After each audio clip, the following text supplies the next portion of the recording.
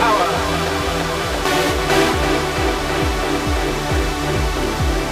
The power to create happiness. To make this life free and beautiful. To make this life a